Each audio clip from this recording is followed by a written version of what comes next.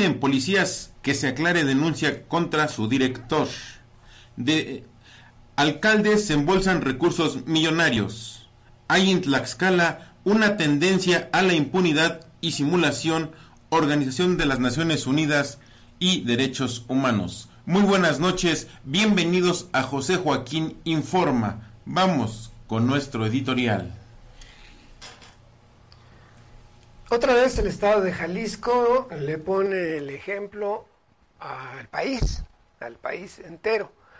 Aquí usted se enteró hace bastante tiempo que fue el Congreso, precisamente el Congreso local de Jalisco, el que retiró el fuero a todos los servidores públicos de ese estado. Se hizo en otras entidades después de esto, eh, pero Tlaxcala, no, Tlaxcala continúa el fuero.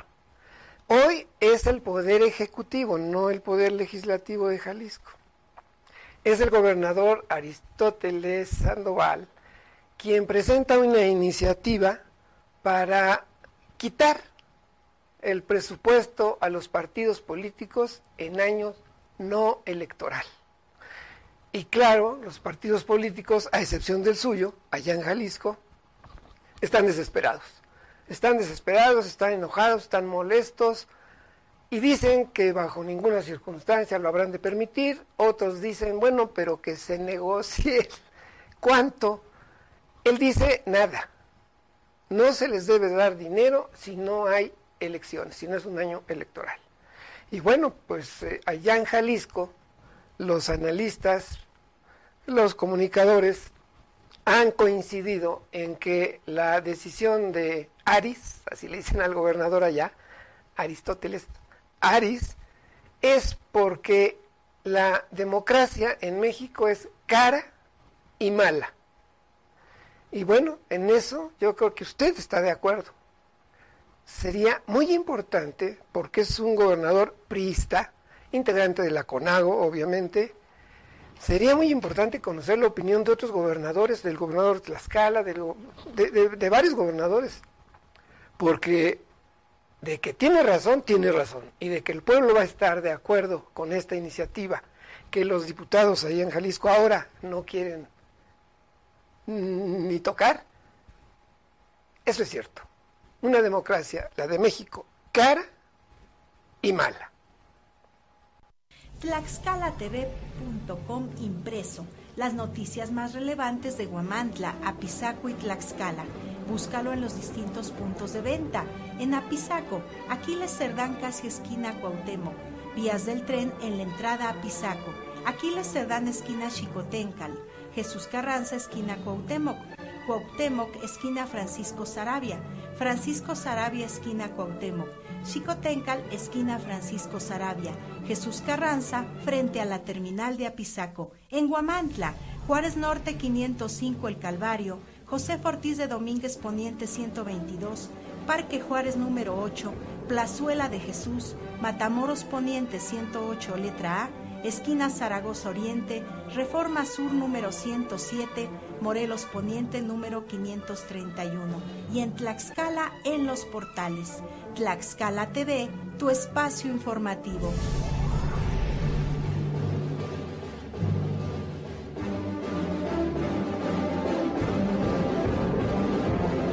¿Qué tal amigos? Muy buenas noches. Bienvenidos a José Joaquín Informa. Nuevamente les comentaremos lo que consideramos las noticias y sucesos más importantes del día. Don Joaquín, muy buenas noches. Buenas noches, Héctor. Y bien, así empezamos. De consulta, piden policías que se aclare denuncia contra su director. Esta información, y ayer lo comentamos de manera rápida, apareció en el portal el día de ayer. En esta nota dice que elementos en activo de la Policía Municipal de Huamantla exigieron conocer los avances, dice que lleva la denuncia en contra del director de esa corporación, Otilio Lozada Torres, quien hace unos meses fue acusado de robar 60 toneladas de varilla. Los quejosos, dice la nota, afirmaron que cuando aún era delegado de la Policía Estatal en Huamantla acudió a un reporte de robo por parte de delincuentes que se dedican a vaciar lo que llevan los vagones del tren, esto en Lázaro Cárdenas. acusaron que cuando arribaron al lugar los uniformados, los delincuentes se dieron a la fuga al verse sorprendidos, pero en las inmediaciones de las vías localizaron varillas tiradas. Una vez que concluyeron de recoger estas, conocieron que se trató de al menos 60 toneladas de varilla, pero como el personal de seguridad de Ferrosur no se encontraba en el momento, estas no fueron puestas a disposición del Ministerio Público, sino que el entonces delegado de la Policía Estatal se las llevó a su casa. La tonelada de varilla oscila entre los 12 y 13 mil pesos, dice la nota. Es decir, que el monto en pesos de lo que se apoderó ilegalmente Otilio Lozada asciende a más de 720 mil pesos. Por ello, exigieron conocer cómo va esa denuncia y además pidieron que el presidente municipal de Guamantla, Jorge Sánchez Jasso, vigile las manos de Lozada Torres, pues acusaron que cobra cuota a delincuentes para permitirles operar en la zona. Los oficiales debidamente acreditados con clave única de identificación policial están debidamente identificados, pero pidieron la gracia del anonimato para evitar represalias. Esta fue la nota que ayer apareció en el portal de consulta.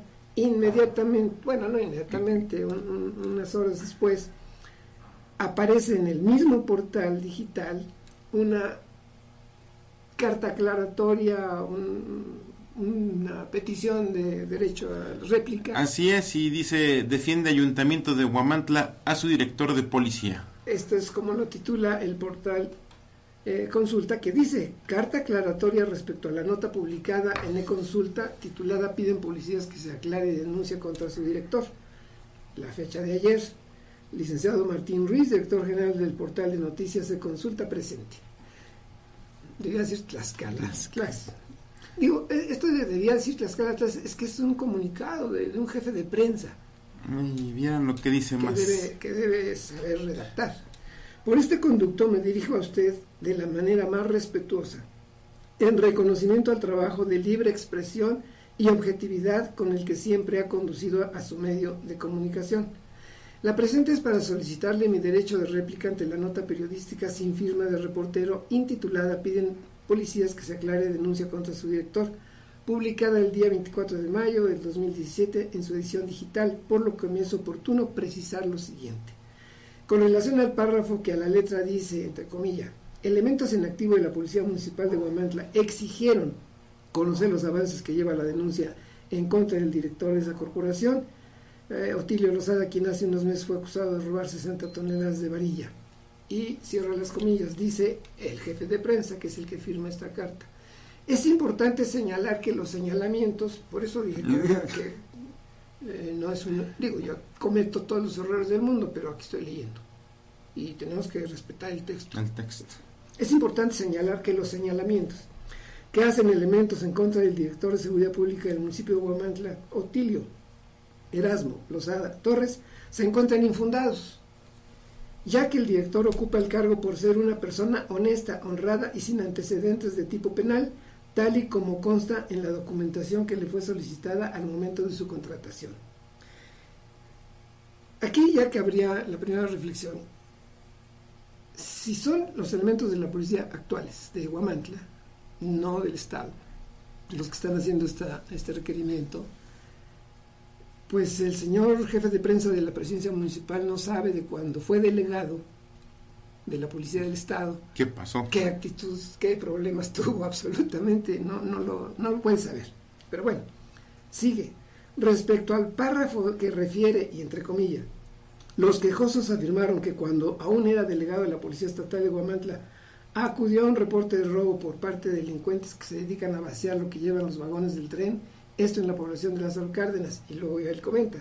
Es necesario manifestarle que durante el tiempo que el comandante Lozada Torres prestó sus servicios como encargado de la comisaría de la Policía Estatal, no acudió a brindar apoyo alguno relacionado con robo a tren cargado con varilla en la fecha señalada en la comunidad de Lázaro Cárdenas. Obvio que esto se lo dijo eh, el comisario al jefe de prensa, porque él no puede saber, lo, que, haya hecho. Cabe mencionar que del 1 de enero de 2017 a la fecha, el presidente municipal Jorge Sánchez Jasso no ha recibido notificación alguna por parte de las autoridades correspondientes sobre presuntas denuncias en contra del director de Seguridad Pública de Guamantla.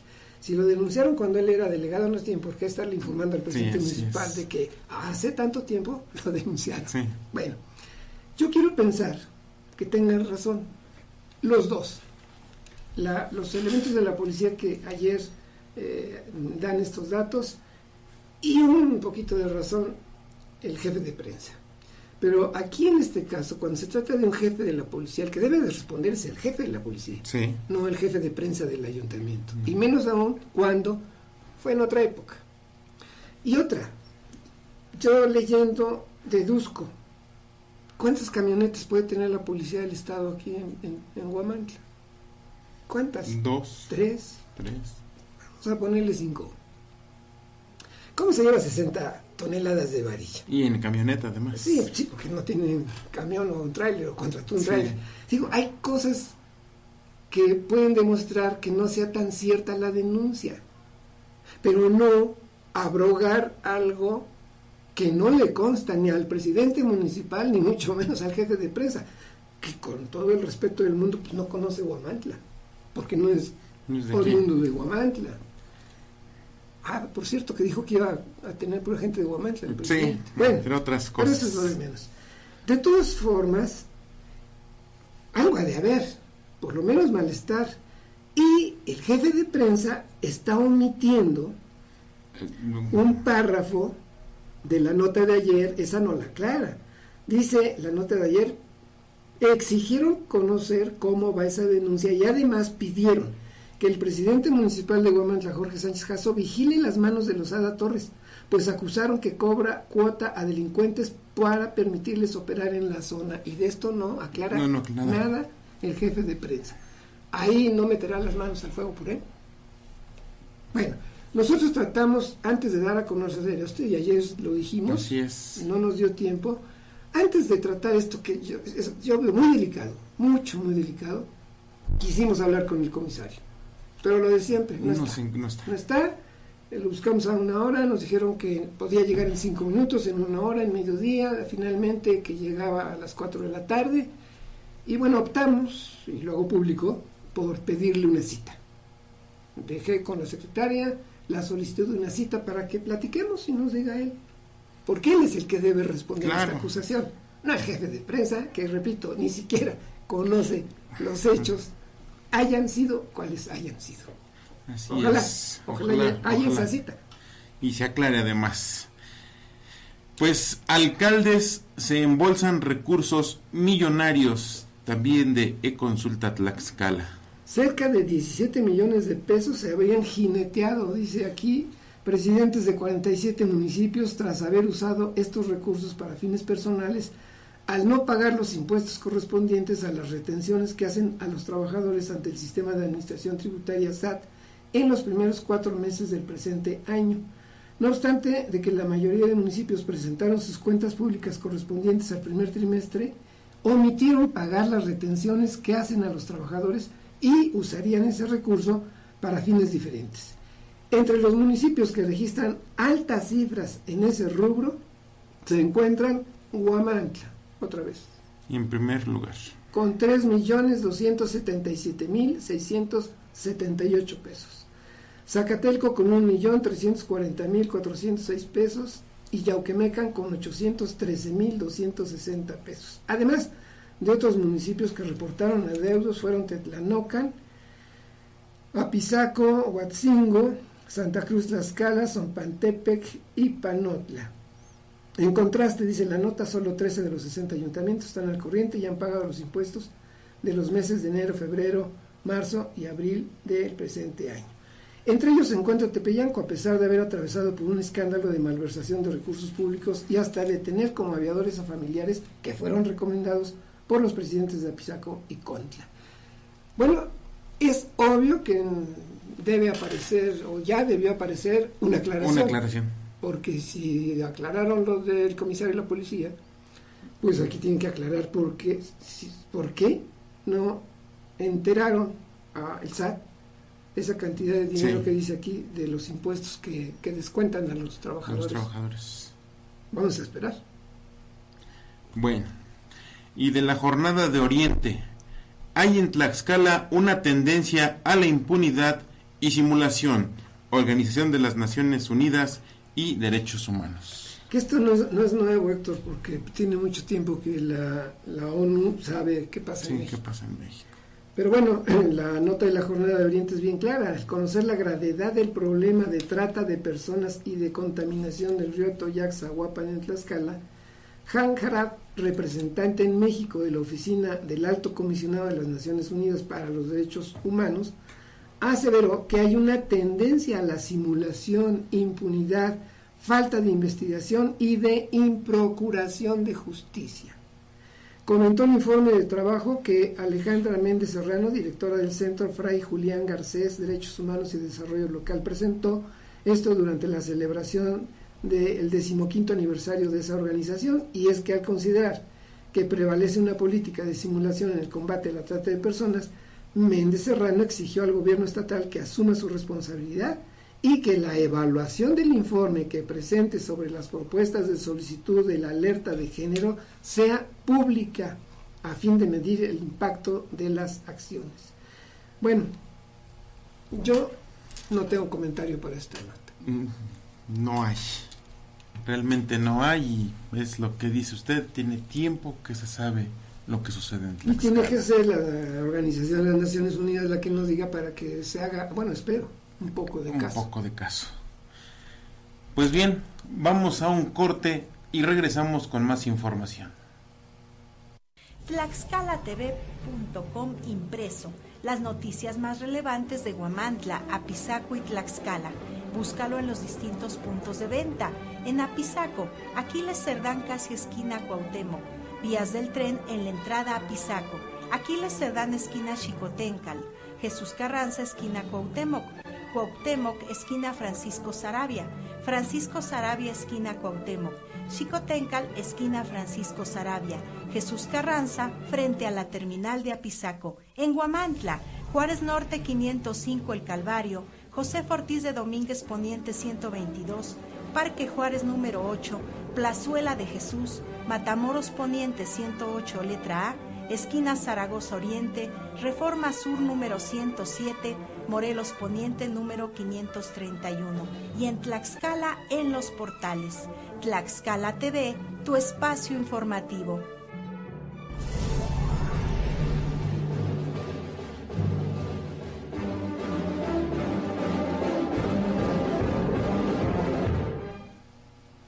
Regresamos y don Joaquín pues sigue este tipo de noticias. Del Sol de Tlaxcala, hurtan otra camioneta del servicio público local. Y claro, son los títulos que, que le pone el medio, ¿no? Sí, Pero es un asalto. Es un asalto porque la redacción dice dos hombres abordaron la unidad como pasajeros y luego amagaron con armas de fuego al conductor para quitarle la unidad. Pues ese es un asalto. Y es con violencia, porque utilizan armas de fuego, aun cuando no las accionen. así es. No deja de ser violencia. Con armas de fuego, dos personas robaron en el municipio de Santa Isabel Chilosostla una camioneta del servicio público local.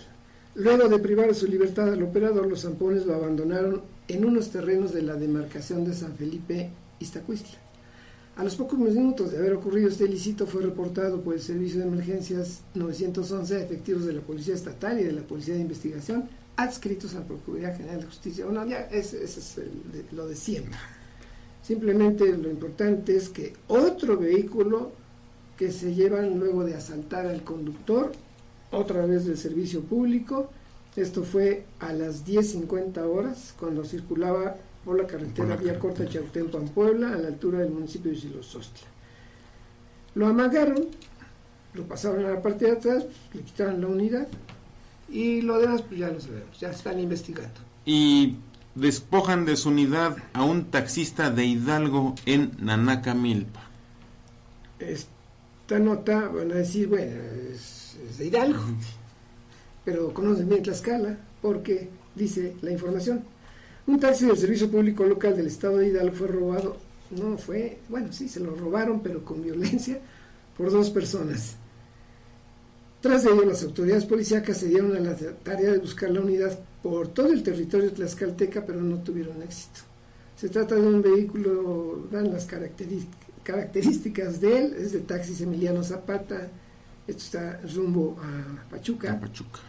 El chofer Luis reveló que alrededor de las 4 de la tarde se encontraba en la colonia Emiliano Zapata cuando llegaron dos hombres le solicitaron un viaje al municipio de Nacamilpa. Pero al llegar a esa demarcación, los pasajeros lo amagaron con un arma de fuego, otra vez. Le pidieron que descendiera de la unidad y se la quitaron. Bueno, los hechos ya fueron denunciados, ya se está investigando también esta, este asalto, este otro asalto. Y mujer desaparecida es hallada muerta en barranca de Ixtacuistla. Información del Sol de Tlaxcala. Una información que, que, debe tener seguimiento, porque de acuerdo a lo que dice el Sol de Tlaxcala, es una mujer de 75 años de edad que tenía alrededor de una semana desaparecida y que en vida respondía al nombre de Petra. Fue hallada muerta la tarde de este miércoles, esto es ayer, en una barranca de la comunidad de Alpotzonga, municipio de Ixtacuistla. Desde el día de su desaparición, sus familiares emprendieron una intensa búsqueda, pero sin resultados positivos para dar con su paradero. Sin embargo, ayer uno de sus familiares la localizó entre la maleza de una barranca de aproximadamente 40 metros de profundidad. Ahí llegó el personal de protección civil de Panotla, de emergencias de Iztacuistla, quienes con equipo de cuerdas y rapel rescataron el cuerpo de la mujer. Bueno, yo creo que debe haber llegado el Ministerio Público primero, ¿no? Yo creo que sí, para, autorizar el levantamiento del cuerpo. De acuerdo con el nieto de la hoy Oxisa, la semana pasada su abuela tuvo una discusión con uno de sus hijos y después de eso desapareció y ya no supieron nada de ella. También reveló que el día que salió de su vivienda se llevó consigo alrededor de 50 mil pesos que tenía guardados. Y bueno, ayer realizaron una búsqueda por el mismo lugar del hallazgo, pero no la habían encontrado. Hasta hoy el yerno, dice hoy, ayer, fue que la localizó. Y pues dice que hasta las 6 de la tarde arribaron empleados de la dependencia encargada de procurar justicia al lugar para el levantamiento del cadáver y proceder a levantar indicios para integrarlo a la carpeta de investigación. Pues es que si se llevó los 50 mil pesos y nos quieran decir que se suicidó, pues para qué llevaba los 50 mil pesos, ¿no? Sí. Tiene que haber investigación o otra razón, otra justificación para lo que dice la Organización Nacional de Naciones Unidas de Derechos Humanos de que hay improcuración de justicia. justicia. Pero vamos a ver. Y bien, de cuarto de guerra Tlaxcala, omiten autoridades investigar intento de secuestro en Tlaxcala. Fue, eh, según Cuarto de Guerra, fue el Frente Feminista Nacional, bueno, representantes del Claro, quienes dieron a conocer que la Procuraduría General de Justicia omitió realizar las averiguaciones sobre el intento de secuestro de una joven de 19 años en la carretera conocida como la Vía Corta, por lo que pidieron públicamente que el gobernador de Tlaxcala realice declaratoria de alerta de género emergente e inmediata por los recientes sucesos en contra de mujeres.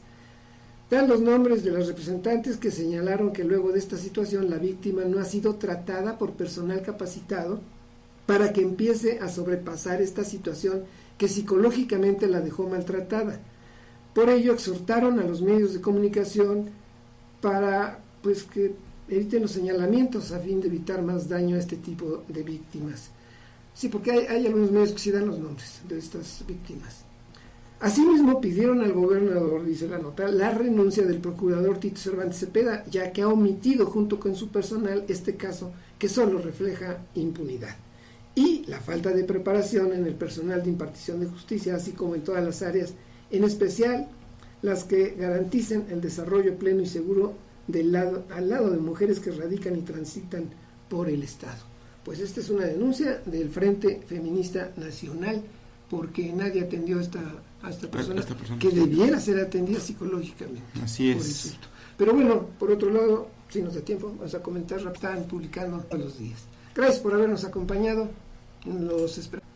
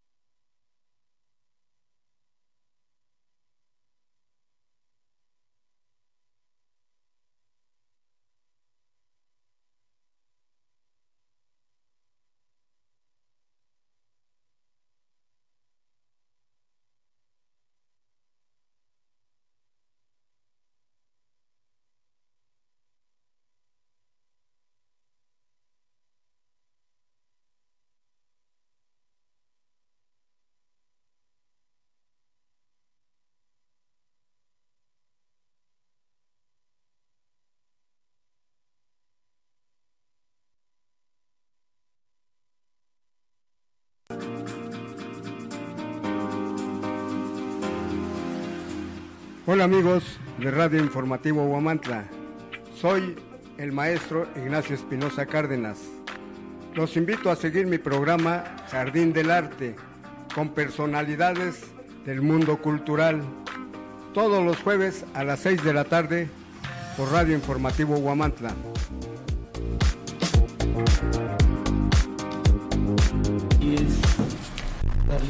Muy buenas tardes, nuevamente desde sus instalaciones de aquí de la empresa Radio Televisión de Huamantla, agradeciendo de antemano este gran apoyo que hemos, siempre se nos ha dado para aquí, para todos los que pues, así conformamos cultura, artesanía, ¿verdad? Y qué bueno. Y antes que nada, muy buenas tardes y bienvenido. Bien, muy buenas tardes, pues nuevamente aquí 25 de mayo estamos este, en el espacio de arte y cultura como es todos los jueves de 6 a 7 y pues ahora tenemos un invitado que nos va a nombrar las, las culturas de Huamancla, el arte de Huamancla que no quiere que se pierda y pues más que nada pues es su trabajo. Aquí también tenemos a María Elena Díaz, muy buena tarde, este, su servidora, promotora cultural, eh, agradeciendo siempre la invitación que tienen a bien el hacernos para participar en este programa. Muy bien, y para entrar de lleno ahorita vamos a hacer un escrito que nos, así nos manda, nos hace llegar don Manuel de la Vega, que forma parte también de este equipo, ¿verdad? Que dice así, amigos, buenas tardes, calor sofocante y muy poca lluvia. Termina mayo y el panorama es desolador. El arte nos estimula y alenta en medio de tantas malas noticias e inseguridad. Ayer le ofrecí una conferencia en el Centro Cultural Guamantla sobre vida y obra de Chopin. Esta mañana volví a la lectura del gran historiador don Miguel León Portilla. En su libro Lleno de Sabiduría nos ilustra sobre pintores de México prehispánico, sus formas, sus colores, sus mitos de esta cultura. Los interesados en el tema del cromatismo en Mesoamérica pueden asistir a la exposición Nuestra Sangre en el Museo del Templo Mayor en México. Azul, verde, rojo, blanco, negro y ocre, los colores del universo los colores del centro y los puntos cardinales, los colores de la paleta de escultores y pintores de Tenochtitlan. Utilizaron en murales y esculturas solo cinco. Esos colores son ahora el tema de la exposición Nuestra Sangre, nuestro color, la escultura policroma de Tenochtitlan, que se inauguró el pasado viernes en el Museo del Templo Mayor. En la muestra se presentan los resultados de varios años de investigación acerca del color de los siglos XV y XVI e incluye piezas originales y algunas casi ya sin color, otras con apenas algunos rostros y otras pequeñas con los colores bien conservados. Pues le agradecemos a don Manuel nuevamente de la Vega, que ahora sí que le damos un total encuadre a este que es nuestro propósito, la cultura. Y también este invitarlos aquí a la se le llama casa abierta del Bachillerato Juana de Arco 2017. Y dice así, tú que estás en terminar tu secundaria y, tú no te decides dónde estudiar la prepa, ven y parte de la experiencia de, de, Bachillerato Juana de Arco, Casa Abierta. Te invitamos a nuestra demostración de talleres y talentos. Expo, Primavera 27. La cita es este viernes 26 de mayo, auditorio de la cancha 13 de Guamantla a las 10 a.m.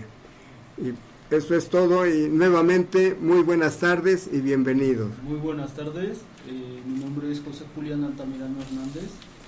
Eh, somos artesanos junto con mi papá, el señor Trinidad Altamirano Hernández. Somos artesanos del metate y el molcajete ah, para rescatar los sabores y salvaguarda de los mismos. Y bueno, estamos haciendo una invitación para que nos conozcan y estamos a sus servicios al teléfono 247 127 77 60 para mayores informes. Y bueno eh, empezamos con eh, lo tradicional no que es nuestra arte y nuestra cultura en utensilios de cocina milenarios. Digo milenarios porque es bien sabido que cuando el hombre deja de ser eh, nómada, se vuelve sedentario y bueno, por ende eh, empieza a concebir la agricultura. Y bueno, para empezar a hablar del metate y el molcajete hay que remontarnos a el horizonte arcaico. Y bueno, esto nos dice que el hombre empieza también a modificar su alimentación y bueno, por ende busca mayores comodidades y entonces viene el metate principalmente como utensilio de cocina y estamos, bueno, entonces en la salvaguarda como artesanos del metate y el molcajete. Mm, y, bueno, eh, nosotros empezamos ya hace dos años con este bonito arte que es el de hacer un metate y un molcajete y bueno es lo que nos ha dado vida ¿no? el empezar a hacer una eh, pues profesión más que nada no eh, el rescate de esto y bueno no, ni se imaginan los sabores en nuestra casa que hay que rescatar por muchos años nuestros abuelitos, nuestros papás y bueno, ahora este, también las generaciones hay que promover ¿no? el uso del metate y el molcajete para descubrir en la cocina grandes sabores que, es, que nos dan y bueno, para empezar a, elaborarlos como tal tenemos que salir a buscar la piedra. Bueno, eh, hay piedra que negra volcánica, que es la comercial que conocemos en el mercado y bueno, que empezamos a, a trabajar.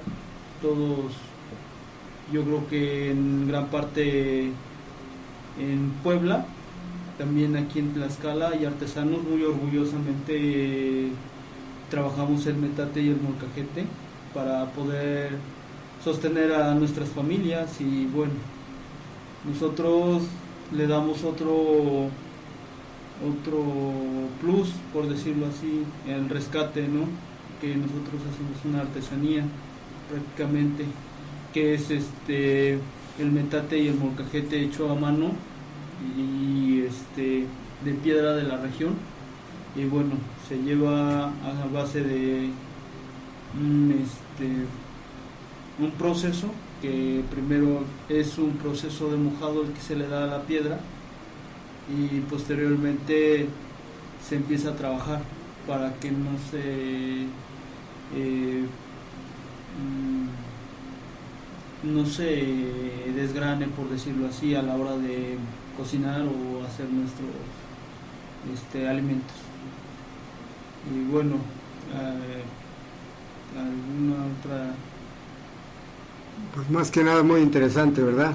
Muy interesante en el sentido del rescate, ahora sí, prehispánico, esa confianza que se le da y, aquí se muestra que el ser humano nunca pierde el detalle, ¿verdad? No nos vamos a ir a la, a la ciencia, a lo moderno, sino más que nada esa inquietud que tenemos como seres humanos en regresar, en decir esto cómo lo hacían, esto cómo se trabajaba y se, ha seguido elaborando, ¿no? Por parte de nuestros bisabuelos que siempre se manejó esto, ¿verdad?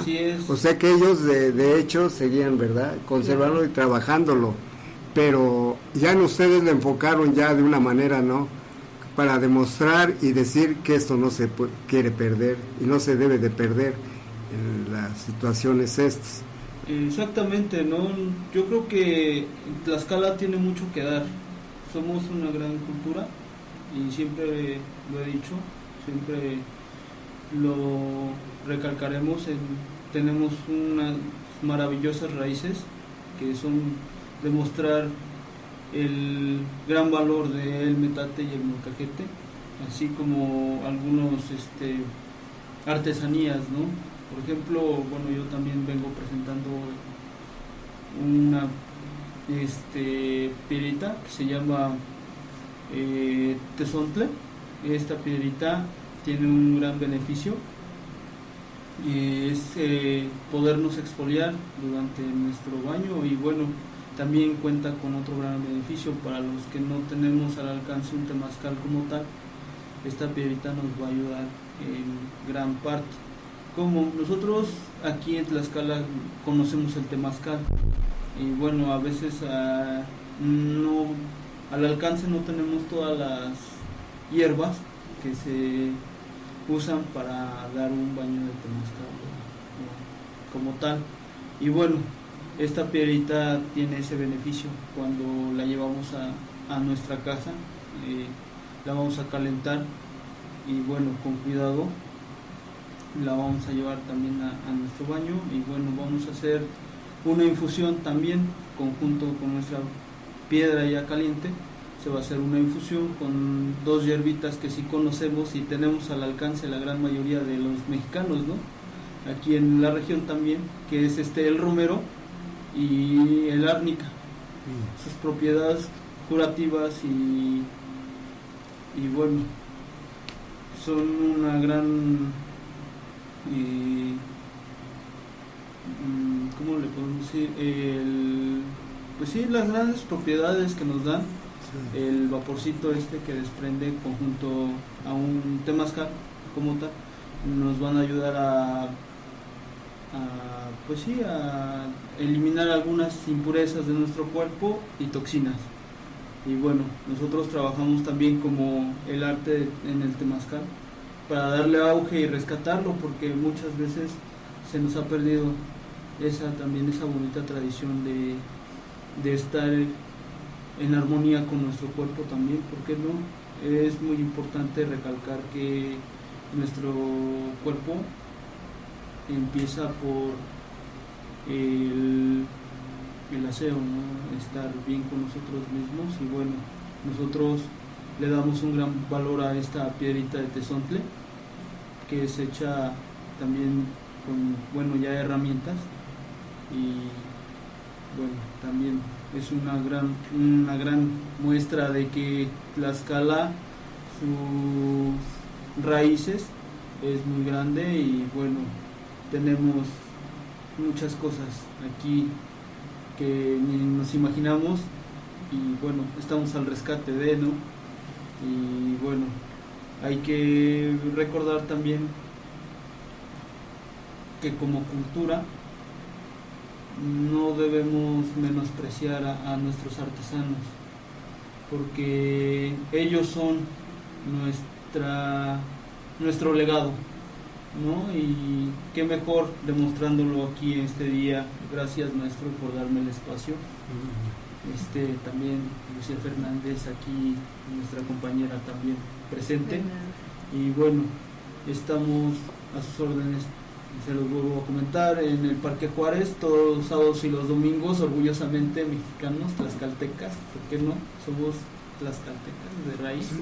En Huamante, Tlaxcala hay mucha, mucha eh, creatividad y bueno, los artesanos, ni se digan, son grandes personas que, que en busca de el sostén y sostenibilidad de sus familias buscan hacer de sus raíces algo, algo nuestro y qué mejor demostrándolo en viva voz de nuestros utensilios mexicanos, que es el metate y el molcajete. Sí, pues qué bueno que acabas de decir que dónde se les ubica porque yo creo que ustedes preservar, ¿verdad? Preservar realmente lo que no se puede perder y no se debe de perder. Y qué bueno, un comentario, Lucy, sobre ¿Qué te parece? Como ya ves que pues estamos ahí, ¿cómo ves? Pues realmente es muy bonito el, la presencia de ustedes, el hecho de, de tener esa cultura que la gente que llega a este quiere comprar pues el molcajete por el hecho de la salsa, que es otro sabor. Tener, hacer una salsa en molcajete es otro sabor porque la piedra, eh, no sé, asado los chiles, los tomates y con el molcajete pues yo creo da otro sabor que con la licuadora, ¿no? Y creo toda gente quiere tener un molcajete en su casa que realmente ustedes tienen la nos dan la posibilidad de tenerlo porque pues realmente es lo que llama la atención que todavía en Huamancla se venda estas cosas que que, que en muchas partes pues realmente se están perdiendo, ¿no? claro que sí, eh, Lucy. Este, ¿quién no quiere tener un molcajete en su casa? Digo porque, bueno, es un gran ritual hacer una salsita de molcajete. Eh, primeramente, ¿cómo curarlo? Desde ahí empieza la magia de esta bonita cultura y raíces que tenemos aquí en Tlaxcala, ¿no? El cómo curar un molcajete, bueno, es wow, la presencia del sabor, porque, bueno, cuando un metate o un molcajete es nuevo, hay que curarlo, ¿sí? Es, es muy bonito. Primeramente, vamos a curarlo con arroz crudo. ¿Esto para qué? Para que si alguna arista, alguna piedrita todavía floja, se desprenda como tal.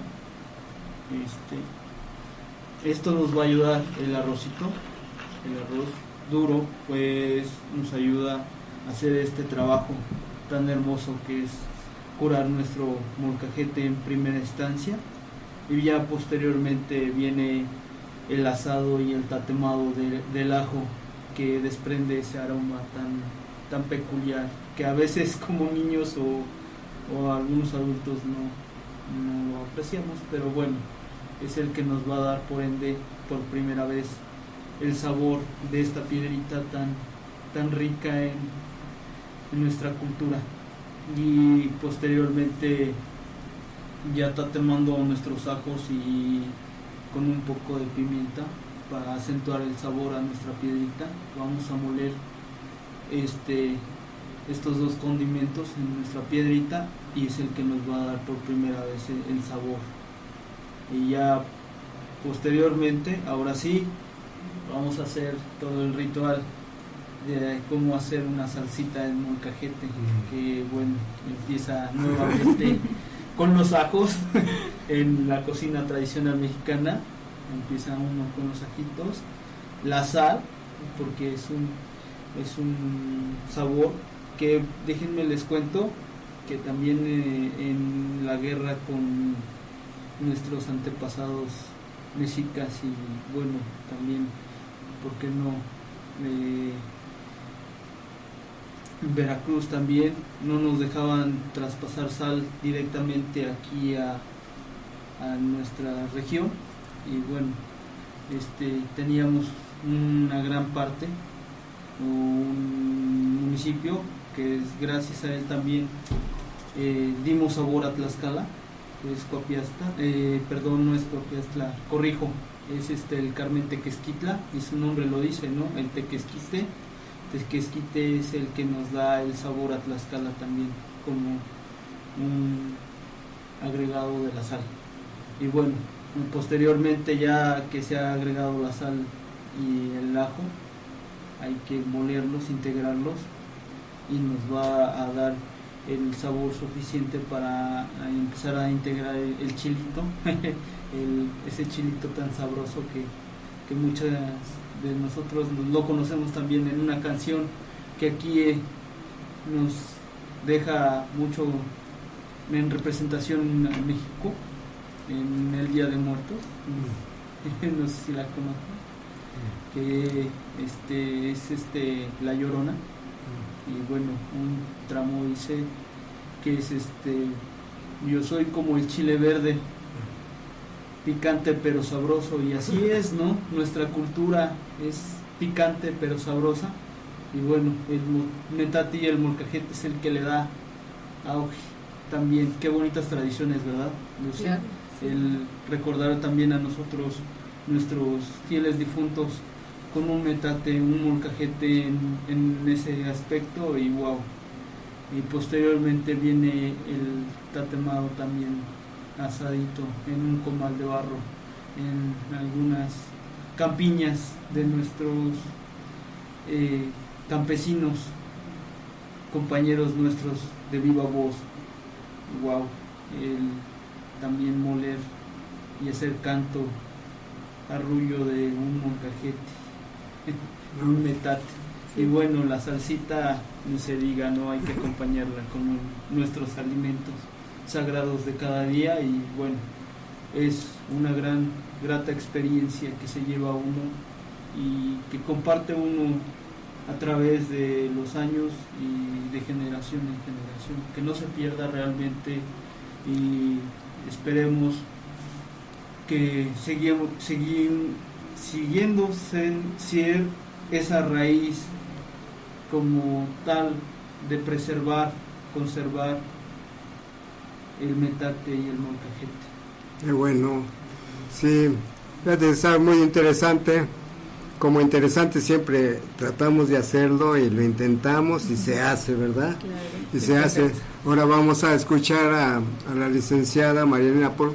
Dentro, no, no saliéndonos de los rubros, únicamente de los eventos que tenemos a la mano en el centro cultural, tu punto de vista también, o sea que aquí somos una familia abierta, vamos a decir, una familia cultural, como decía aquí el compañero, ¿no? Todos seguimos ese mismo línea. Muy buena tarde. con esta narración que nos acaba de hacer el compañero, nos fuimos imaginando poco a poco todo el proceso, ese maridaje de sabores, de aromas, de colores que se brindan a través de la cocina mexicana. Este, me estaba recordando eh, una experiencia que tuvimos el año pasado, en una institución eh, gastronómica nos hizo favor de invitarnos a un encuentro interno de gastronomía y precisamente manejaban todo lo que es eh, el manejo y movimiento de las salsas en México, la elaboración de los chiles, eh, en todo este proceso de las salsas. Pero bueno, como nos lo fue narrando el compañero, ahorita se me vino a la mente hasta el mismo aroma de esa ocasión. y sí, definitivamente el, el recordar que la base fundamental de, la cocina mexicana está en sus elementos, eh, tanto para, para la preparación como para eh, eh, todo, todo, lo que son los ingredientes, ¿no? Entonces, pues el, rescate de todos estos ingredientes en, nuestra cocina son fundamentales. y pues hacerles una felicitación por, por no dejar que se pierda este tipo de tradiciones que, el, que sigan conservando esta artesanía, el que, la, que hagan que, prevalezca a través de las generaciones. Eh, a mí me interesa muchísimo el proceso de la elaboración, ¿no? El, el que no es tan fácil el decir, bueno, esta piedra me sirve para hacer un molcajete, ¿no? O sea, estamos hablando hace un rato de los sonidos, ¿no? Que ellos tienen que escoger la piedra específica, tienen que calarla, tienen que tocarla y, ellos ya identifican esos sonidos, ¿no? Eh, si viene vidriosa, si tiene, eh, digamos, si viene agrietada y, es viable o no para la elaboración de este de, de, estos metates, de estos molcajetes, los metlapiles y todo, todo esto, ¿no? Eh, el hecho de que al centro tenga un mayor volumen implica que al momento de que se nos cae, pues automáticamente se va a romper, no tienen que irle buscando la forma. Ahora bien, estamos hablando de un proceso en el que no utilizan herramientas, eh, pues, más bien utilizan herramientas arcaicas, entre comillas, ¿no? O sea, es, es labrado prácticamente a mano, no utilizan ningún tipo de mm, elemento tecnológico para, eh, para la elaboración. En esa parte sí nos ayuda un poco ahorita ya. En el inicio sí fue arcaico, bueno, en principio fue a, cincel y martillo, porque bueno, nosotros económicamente no teníamos la, economía para adquirir las herramientas, grandes, ¿no? un proceso de producción. Y, bueno, ahora con bueno con esfuerzo de toda la familia este, se adquirieron pues sí las máquinas para empezar a hacer producción, ¿no? En cuanto a esta maravillosa, piedra también que es la piedra negra volcánica, que es la piedra más comercial aquí, que conocemos en México. Y este, bueno, eh, se, empieza a trabajar eh, con la herramienta y bueno, pero nosotros le damos un especial cuidado a toda nuestra artesanía, a nuestros metates y molcajetes digo el especial cuidado, ¿por qué? porque nosotros como artesanos queremos que se lleven a ustedes a su casa un producto con el que van a, estar en contacto mucho tiempo, ¿no? Sí, tiene en, que en su casa y bueno, este, por ende tenemos que garantizar que no se desgrane a la hora de estar moliendo nuestra salsita y bueno, haciendo nuestros eh, bueno, nuestras comidas. Pues bueno, tal el caso que ahorita yo me permití traer estos dos eh, eh, para hacer una explicación de también cómo podemos marinar este, nuestras carnes con condimentos. Eh, un, ejemplo es el, las albóndigas. ¿Quién no ha hecho albóndigas en su casa? Eh, bueno, el, el, ajito que se le proporciona y bueno, los cominos en la licuadora, no queremos que, que se queden en la licuadora, ¿verdad? Entonces queremos que, que se impregne ese saborcito. Claro que en la licuadora a veces, bueno, perdón por las tecnologías, no eh, queremos hacer una mala explicación, pero bueno, nosotros lo que buscamos también en esta artesanía es que te va a dar el sabor completo, porque cuando tú agregas un poco de agua a tu licuadora para desprender el condimento ya marinado, eh, bueno, se le pierde un poquito del sabor. Entonces este molcajetito en esta presentación que es de 4 pulgadas eh, y de 2 pulgadas de fondo aproximadamente, 2 pulgadas y media, casi 3. Eh, perfectamente podemos hacer buen uso de él con estos condimentos y marinando así nuestra carne y también dándole forma al álbum a ese producto tan rico. Y bueno, no nada más ese beneficio tenemos, también otra grata sorpresa. Eh, que nuestro molcajetito lo podemos llevar al horno para gratinar, para gratinar este, nuestras, nuestros quesos. Hay el famoso queso que se gratinaba con una cazuelita de barro que es muy rico. Y bueno, este molcajito también nos sirve para este tipo de, de cocina también, que también hay un molcajetes más grande, por supuesto, más grande, y también nos pueden ayudar a mantener nuestra comida caliente. Quien no gusta mantener y estar comiendo en compañía de nuestros familiares la carnita asada y que no se enfríe. Es también una gran, gran, gran herramienta. Y bueno, eh, como hemos visto el uso de tecnología también es, nos ayuda ¿eh? en un buen, pero bueno, nosotros como artesanos no dejamos de usar lo empírico, que es este un martillo, un mazo y un cincel para dar vida a un metate y un molcajete. Qué bueno, sí. Está interesante, ¿verdad? Realmente está muy interesante. ¿Y tú ya tus productos ya los los vendes curados, ya están preparados para utilizar o...? Eh, pues prácticamente no.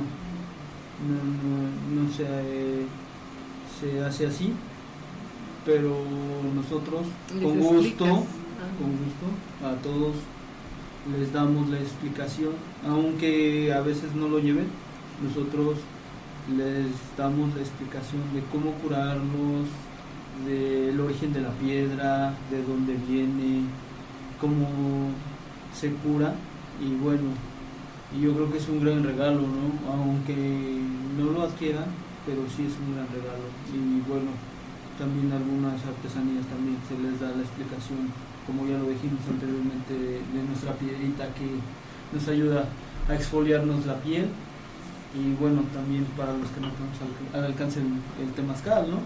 Es esta piedrita es realmente una bonita, eh, como lo diré, experiencia, ¿no? Estar en contacto con nuestro cuerpo.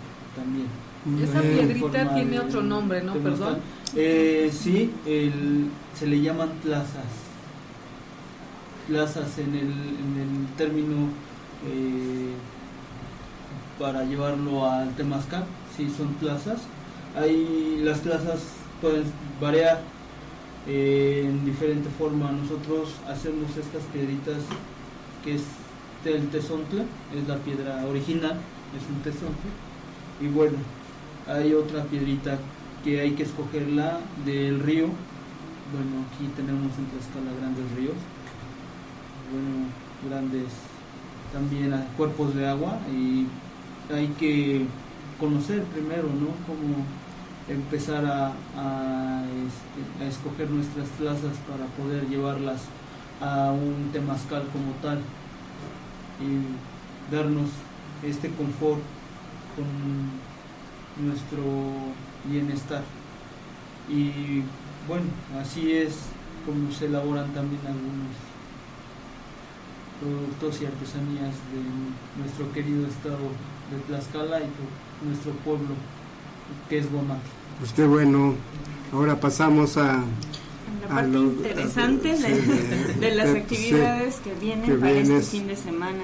Exactamente. El día, el día de mañana, viernes 26 de mayo, tenemos a las 5 de la tarde en el auditorio del Centro Cultural la presentación del libro Haciendas de Tlaxcala por su autor, el licenciado médico veterinario zootecnista Antonio Corichi que viene a hacernos eh, la presentación de este libro, que bien valdría la pena que eh, como guamantlecos tengamos eh, la posibilidad de conocer todo lo que son los antecedentes y demás de, las haciendas que se encuentran en Tlaxcala.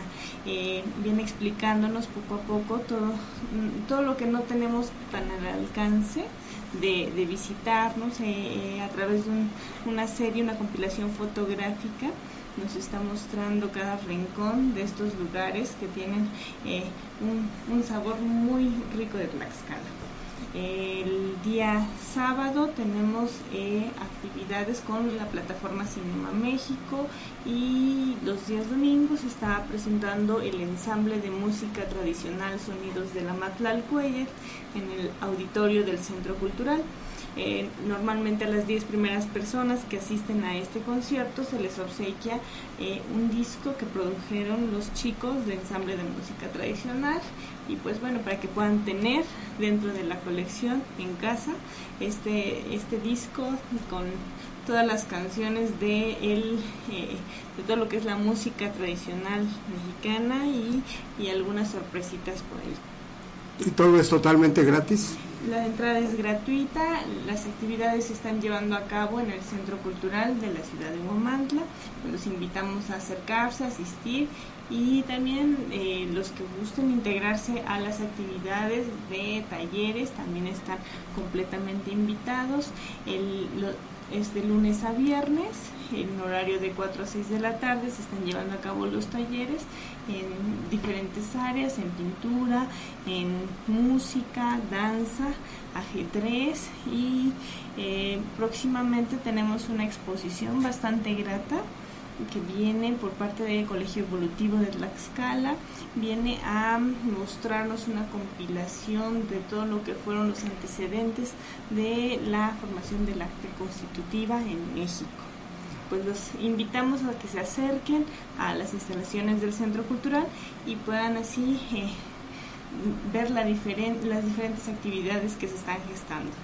Eh, pero, nuevamente para los que no escuchamos dentro de los horarios entonces de la presentación del libro nuevamente si nos quieres dar El libro el día de mañana se presenta a las 5 de la tarde en el auditorio del Centro Cultural. La entrada es completamente gratuita. Tenemos ahí algunas sorpresas para los que gusten acompañarnos.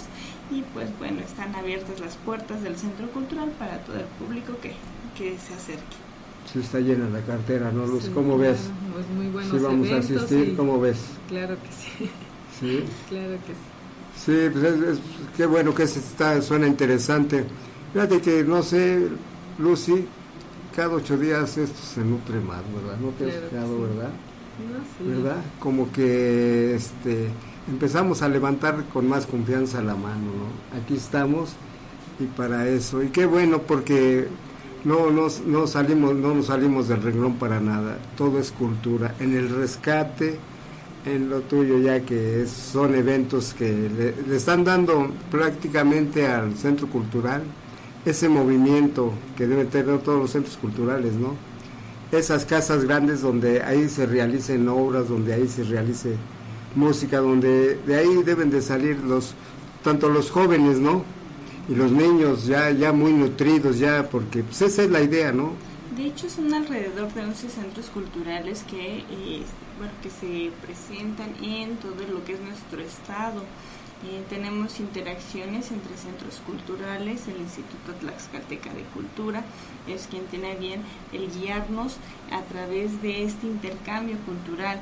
Eh, los alumnos de, de Huamantla normalmente se están presentando en los diferentes foros que nos presenta eh, Santana Cheotempan, eh, Calpulalpan, Tlaxcala, y, pues bueno, de igual manera, eh, ya para, para estos siguientes meses estaremos viendo el trabajo de, los alumnos que, que se están formando en otros centros culturales. Es muy importante esta interacción entre jóvenes porque bueno, es una experiencia ¿no? que los va marcando y va definiendo poco a poco lo que, eh, eh, lo que les, que les agrada y, pues los va impulsando a esforzarse en estas disciplinas que tienen eh, ya en mente eh, incursionar.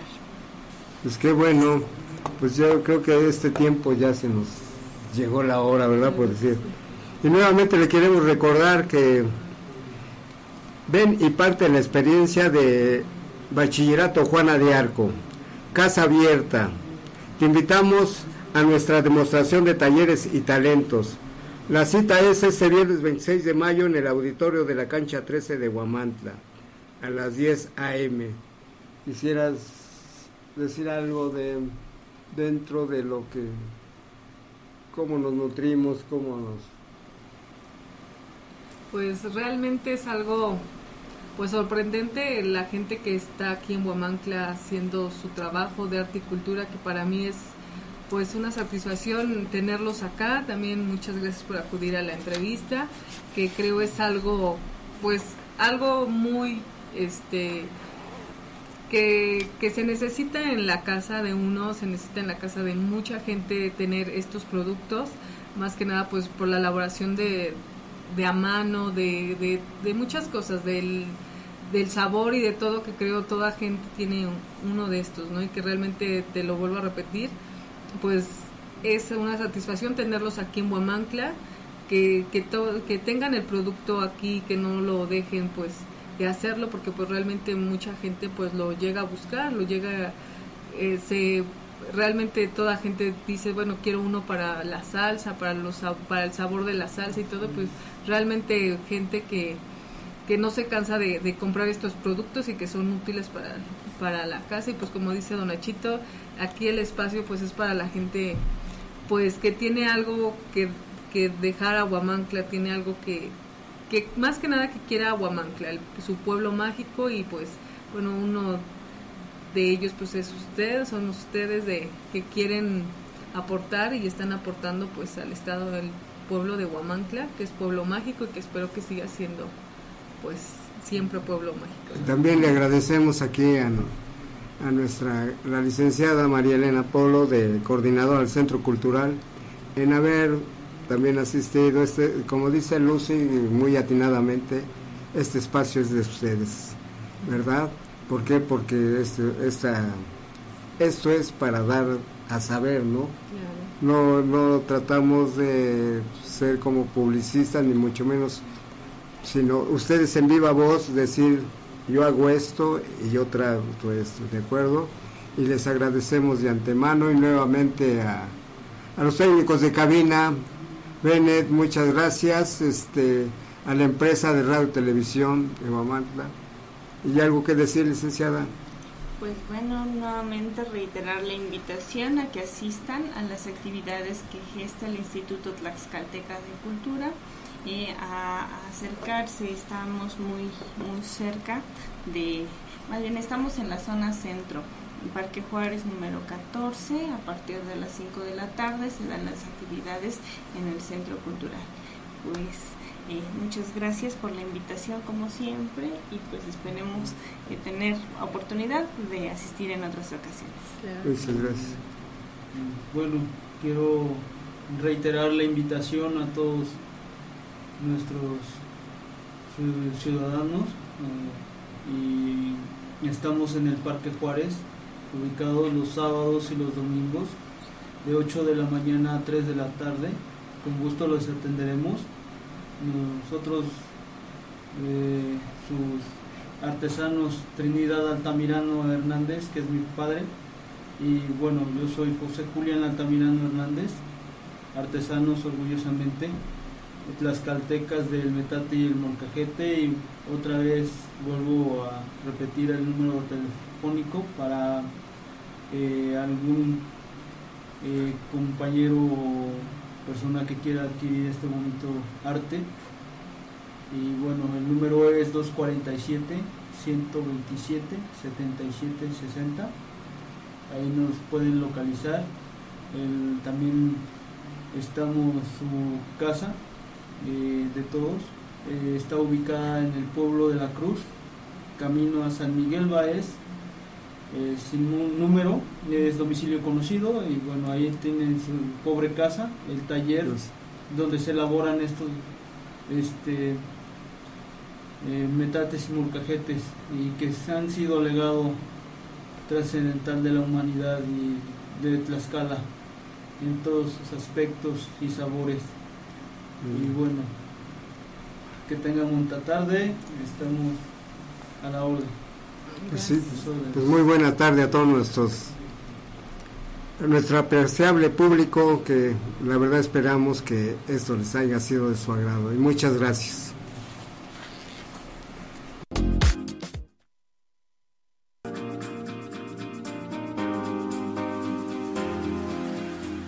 Hola amigos de Radio Informativo Huamantla. Soy el maestro Ignacio Espinosa Cárdenas. Los invito a seguir mi programa Jardín del Arte con personalidades del mundo cultural todos los jueves a las 6 de la tarde por Radio Informativo Huamantla.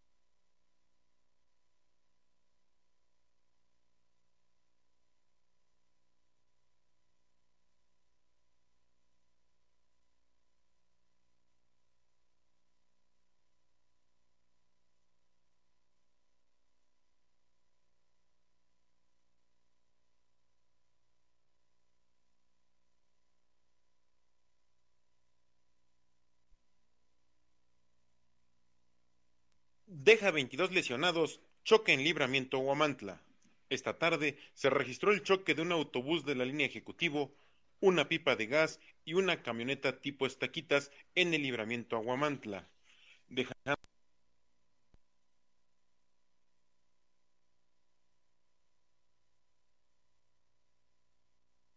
deja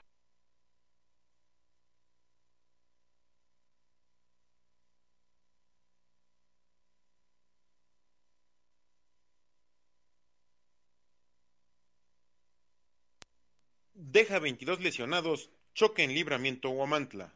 Esta tarde se registró el choque de un autobús de la línea ejecutivo, una pipa de gas y una camioneta tipo estaquitas en el libramiento Aguamantla, dejando al momento 22 lesionados y una persona del sexo masculino muerta.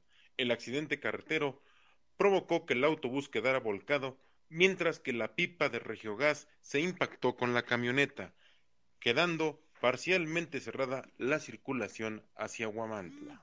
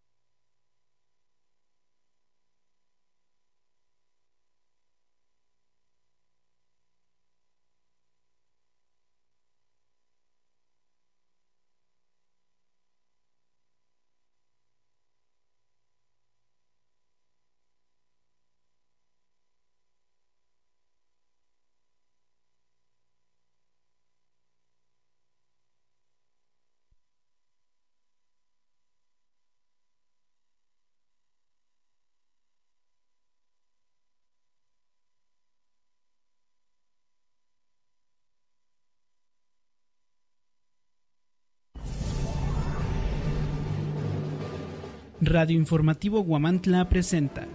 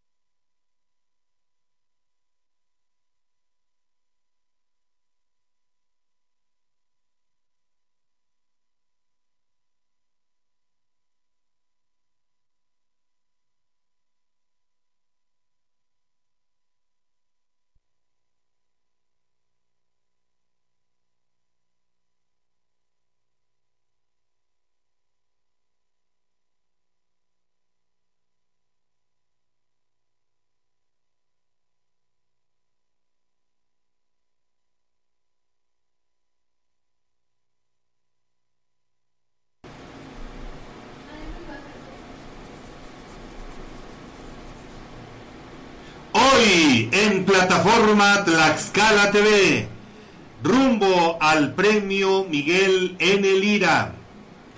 Registra la Universidad Politécnica de Tlaxcala 32% de deserción escolar. Suicidio, primera causa de muerte en adolescentes. En Tlaxcala existen cuatro casos. ¿Cómo están amigos? Me da muchísimo gusto saludarlos. Soy Edgar Conde. Les doy la más cordial de las bienvenidas a su programa Plataforma Tlaxcala TV. Comenzamos. Radio Informativo Guamantla presenta.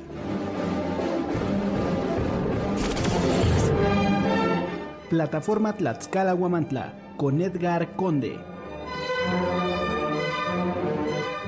Síguenos en Facebook como guamantla.org, en Twitter, arroba guamantla. Teléfono en el estudio 247-102-4984. Radio Informativo Guamantla, la radio virtual.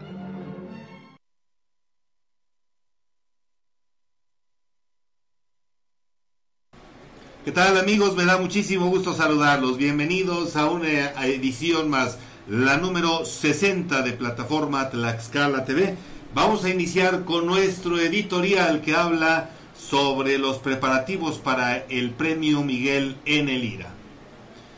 El reconocimiento a la labor periodística ha sido uno de los principales incentivos, particularmente cuando viene acompañado de un estímulo económico en una profesión que no es tan lucrativa como satisfactoria. A lo largo de los últimos años, el gremio periodístico ha entrado en una división marcada por dos tendencias. El reconocimiento debe ser oficial o el reconocimiento debe ser ciudadano. En Tlaxcala, el premio Miguel N. Lira se ha convertido en la manzana de la discordia porque, se ha dicho, es un premio que otorga un poder público y puede prestarse a una especie de chayote, cochupo, compra de conciencias. Pese a ello, un reconocimiento es un premio al esfuerzo, a la entrega, a la dedicación, a la responsabilidad social que tiene el gremio para con la ciudadanía.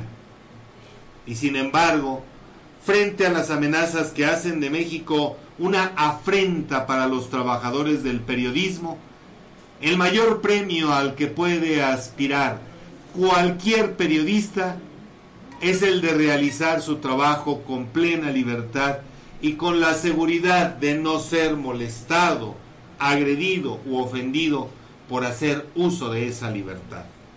En un México convulso que en la última década y media ha costado la vida de un centenar de periodistas, el mayor regalo debe ser la garantía de poder ejercer el trabajo con la certeza de no vivir con la angustia propia de las amenazas, del temor a perder la vida.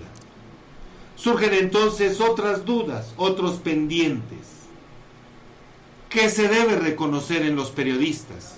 Su trayectoria, su trabajo diario, su creatividad, su valor, su compromiso con la sociedad o un material que llega a sus manos a manera de orden de trabajo, incluso de manera involuntaria. ¿Qué se busca premiar? La ejecución del ejercicio periodístico, la pureza en el manejo del código, la innovación de una práctica basada en los géneros periodísticos. No olvidemos que han sido muchos los grandes escritores de la humanidad que tuvieron en el periodismo sus inicios y que gracias a la libertad encontraron una manera diferente para seguir levantando la voz y seguir siendo conciencia social.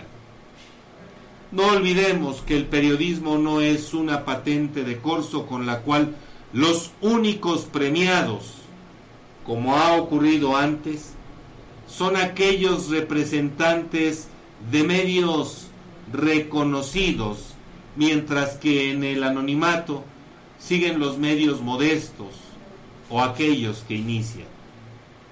Desde este espacio consideramos que el jurado imparcial que revise el trabajo debe estar integrado no por personas conocedoras de la materia, sino por una playa de especialistas en diferentes disciplinas, a efecto de que la evaluación se haga a partir de la riqueza de posibilidades expresivas y no a partir del acartonamiento institucionalizado. Desde esta trinchera hacemos un llamado a la Comisión Especial para otorgar el, el premio Miguel N. Lira a que en la revisión de los trabajos y del trabajo de los periodistas, la imparcialidad de los reconocimientos esté garantizada por la no injerencia de periodistas que, divididos según filias y fobias, aún hacen que persista el canibalismo periodístico. Hacemos un llamado, pues, para que el denominado premio Miguel N. Lira refleje uno de los grandes orgullos de la cultura de Tlaxcala porque aporta, piensa y crea un mundo más maravilloso. Así es como iniciamos amigos con esta edición, la número 60 de plataforma Tlaxcala TV. Comenzamos, vamos a un corte comercial, regresamos con el análisis de la información.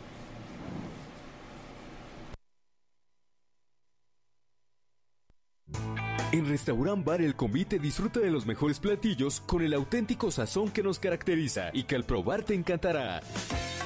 Come delicioso en el mejor lugar de Huamantla, con el menú del día y a la carta que tenemos para ti, de lunes a viernes. Sábados y domingos disfruta de los antojitos mexicanos a partir de las 8 de la mañana. Nos encontramos ubicados en Boulevard Luis Donaldo Colosio, número 115, en Colonia Santa María, Yancuitlalpan, frente al Toro. Llámanos al 247 47 265 44. Restaurant Bar El Convite, un festejo al paladar.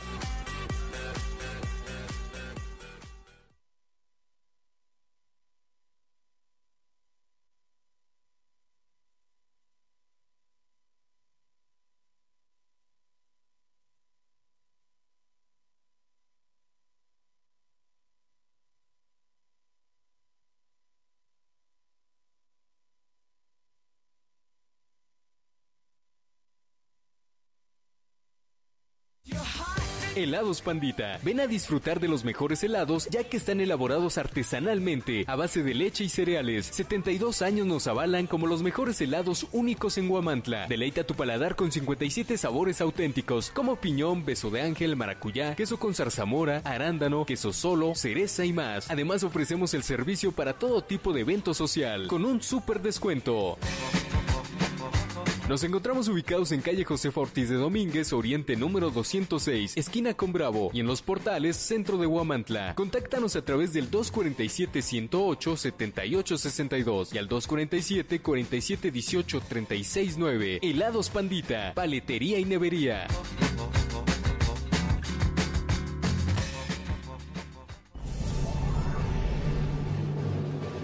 Radio Informativo Guamantla presenta.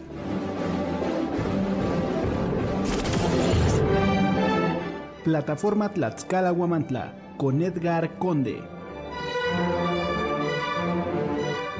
Síguenos en Facebook como guamantla.org, en Twitter arroba Guamantla. Teléfono en el estudio 247-102-4984. Radio Informativo Guamantla, la radio virtual. Bueno amigos, pues Héctor, ¿cómo estás? Mucho gusto. Buenas Muy tardes. Buenas tardes, como, Buenas siempre. tardes, como siempre. Es un gusto compartir cámara y micrófonos contigo. Que así sea y gracias e igualmente. Órale, pues, ¿cómo ves? ¿Listos ya? Ha- se ha dividido muchas veces el gremio a partir de, de esta designación de, del- del premio, los premios Miguel en el IRA. Eh, incluso creo que ya desapareció el premio estatal que otorgaba el gobierno del estado, ¿no? A partir Ya de- lo otorga de esa la Unión. ¿no? Creo, periodistas eh, el, son el los que Congreso en coordinación con la, con la Unión. Y bueno, pues al final de cuentas sí creo yo que es importante que, que sea un jurado multifacético, ¿no? Con muchas vertientes. Que, Multidisciplinario. claro, multidisciplinario, porque entonces se podrán apreciar realmente los trabajos como Así tienen que ser, ¿no? Esperamos, obviamente, eh, que esto, eh, en lugar de que sea la ocasión para el enfrentamiento, para la, descalifi- para la descalificación, más bien sea la oportunidad de enriquecer eh, este, e- estos premios, ¿no? Así es, ojalá, ojalá, ojalá y, y que se lo den a quien realmente lo merezca. Bueno, pues vamos con, con otra, otro tipo de información y es que resulta que este, esta semana eh, se dio a conocer que la Universidad Politécnica de Tlaxcala, la UPT, registra un 32% de deserción escolar. Es un alto, altísimo porcentaje este, este nivel. Y es que casi un tercio de los jóvenes que se matriculan, el 32%, para ingresar a la Universidad Politécnica de Tlaxcala, por sus siglas UPT, opta o decide abandonar sus estudios en el primer cuatrimestre de alguna de las seis ingenierías que oferta la institución de educación superior ubicada en Zacatelco, Tlaxcala, informó el rector Narciso Chicotencal Rojas. Explicó que una de las razones por la que los alumnos de reciente ingreso deciden desertar es el plan de estudios al que tienen que enfrentarse, pues el nivel de trabajo es superior al de la educación media superior. Es por el modelo que tiene la institución. La deserción escolar es en los primeros cuatrimestres, porque los jóvenes estudiantes vienen de un plan semestral, tienen dos meses de vacaciones y son dos periodos. Entonces son cuatro meses y aquí es máximo de un mes y el ritmo de trabajo es dinámico, pero no nos quedamos en el diagnóstico justificó Xicotencal Rojas.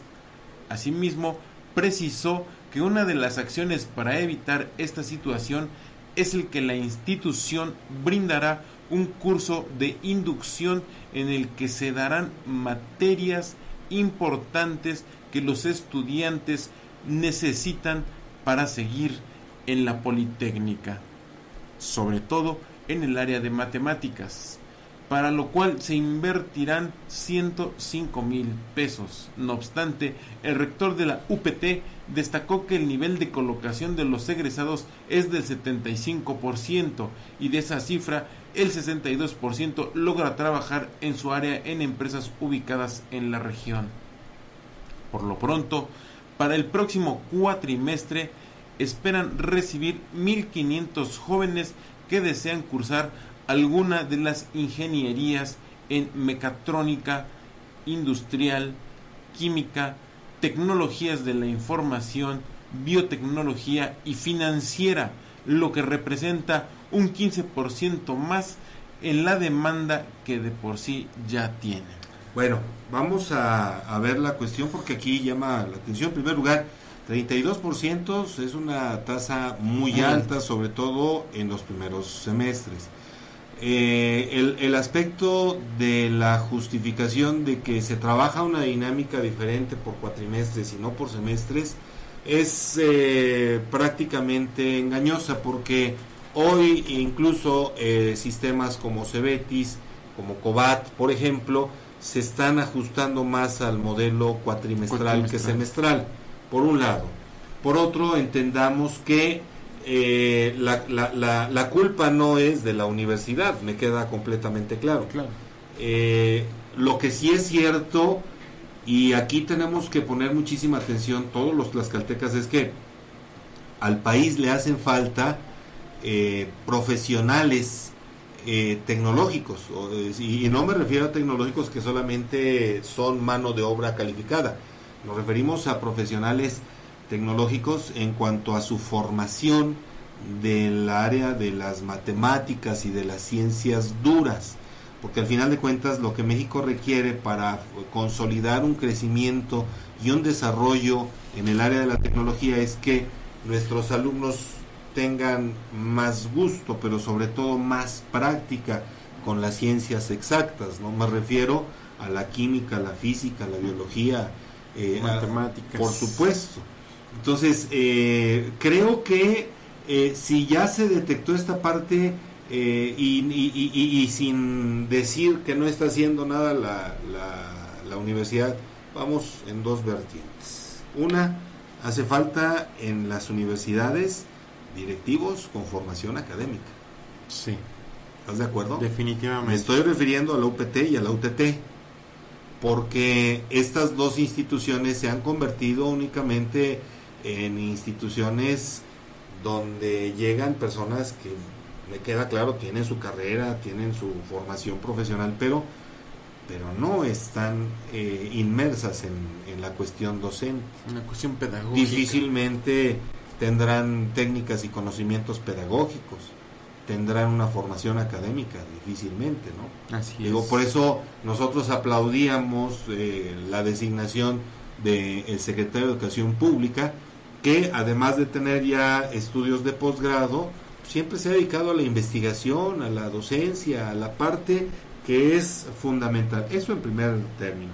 En segundo, creo que hace falta que las universidades, ya, ya son varias universidades, me queda claro que, por ejemplo, la, la Universidad Autónoma de Tlaxcala, que ofrece eh, carreras de humanidades, que ofrece carreras tecnológicas o ingenierías, eh, la Universidad de... mm, Es que ya son muchas. Si te pones a pensar, ya tenemos muchas universidades aquí. Eh, pero creo que hace falta que las universidades, no sé si estén agrupadas en algún gremio, hasta donde yo sé, eh, no, no existe esa fusión, eh, esa integración de las universidades, pero bien valdrían que se coordinaran con los sistemas eh, o, o- o con los subsistemas de educación media superior, es decir, bachilleratos tecnológicos y de humanidades, para encontrar la solución a este problema. Sí, sí, sería Sería ideal, ¿no? Ideal. Por supuesto. Eh, tenemos los casos muy concretos, por ejemplo, en la Ciudad de México se detectaron estos hechos, entonces eh, la, la UNAM se, eh, en sus bachilleratos se enfoca más a las pues a las humanidades, a las ciencias sociales, le da atención claro a la cuestión de las matemáticas, de las ciencias exactas, pero son los bachilleratos del Instituto Politécnico Nacional los que se encargan de encauzar a todos aquellos que quieran estudiar una ingeniería para que precisamente tengan las herramientas, los instrumentos necesarios y, no se tenga un, un, alto índice de deserción. Ahora, creo yo que la deserción también no tiene nada, nada que ver con lo de los cuatrimestres. No. En muchas ocasiones eh, tiene otras causas.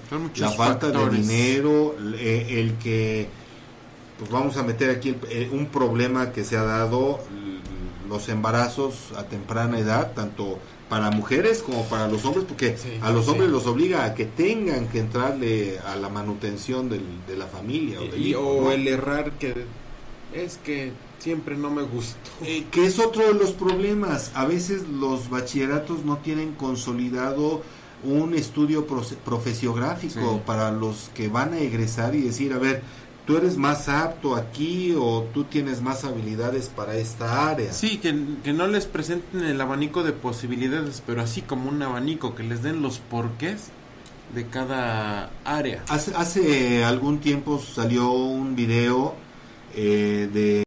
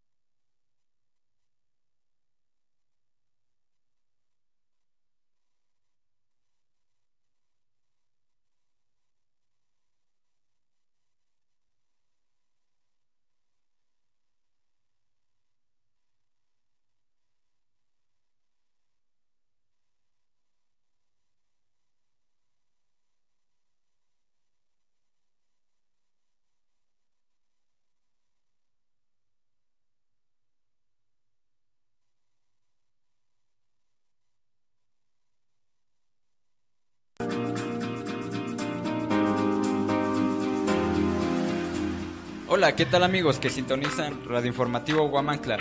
Los invito a que escuchen los mejores beats con DJ Mark Live, los viernes de 5 a 6 de la tarde solamente por Informativo Guamantla.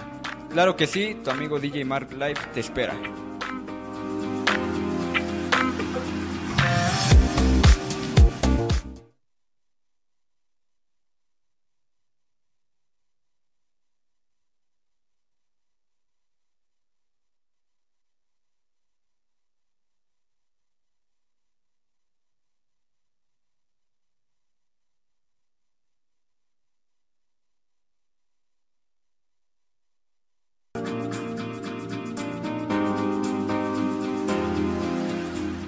Hola, ¿qué tal amigos que sintonizan Radio Informativo Guamantla? Los invito a que escuchen los mejores beats con DJ Mark Live, los viernes de 5 a 6 de la tarde solamente por Informativo Guamantla. Claro que sí, tu amigo DJ Mark Live te espera.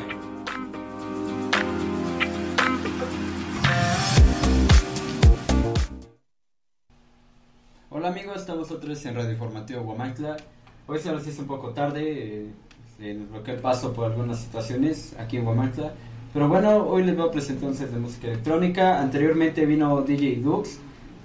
Y próximamente vendrá otro DJ que se llama DJ Carlos. También recuerden que ya está próximo el evento del concurso en Gusto Uruguayo. Allá los esperamos dentro de, de un mes. Para inscribirse pueden mandar mensaje a la página de DJ Mark Live. Bueno, vamos a dar inicio. Espero les guste.